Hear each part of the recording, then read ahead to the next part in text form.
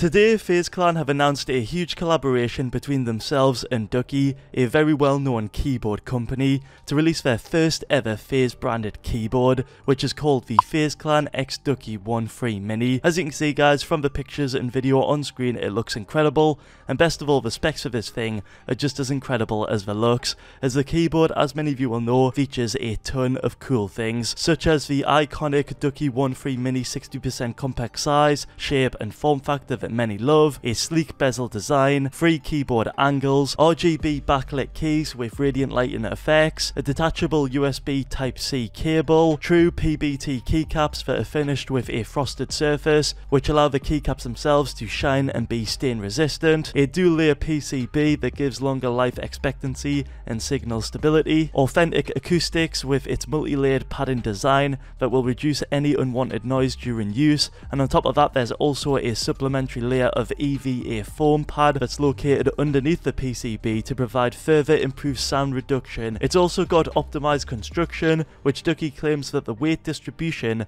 and the lower case height improve their keyboard's overall stability and pause during the most rigorous of movements. And finally, it's got hot swappable switches, which means that if you want to change any of the switches on this keyboard, just go ahead and pull out any of the Kailh hot swappable sockets and replace it to whichever switch you'd like to. It's really as simple as that. So yeah guys, as you heard and seen right there, the keyboard looks incredible and it also will perform incredible as well, thanks to all of the many many features it's got. The keyboard itself definitely has a lot more going on than what other esports teams have released in regards to their own keyboards, like 100 Thieves for example. If you guys remember, they released a keyboard um, not so long ago that featured some good stuff, but it really overall wasn't that great, especially when you compare it to FaZe Clan's new keyboard with their partner, obviously Ducky. The collaboration between those two has literally blown the competition for all esports own like keyboards out of the water, and this one, from my knowledge, is definitely the best one I've ever seen so far. So overall, to conclude, FaZe Clan and Ducky have really made something very, very special here,